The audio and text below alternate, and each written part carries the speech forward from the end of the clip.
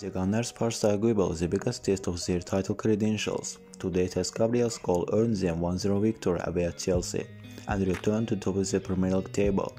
The Gunners Brazilian centre-back Dustin Bukayo Saka's corner midway through the second half to earn Mikel Arteta's side a priceless 3 points.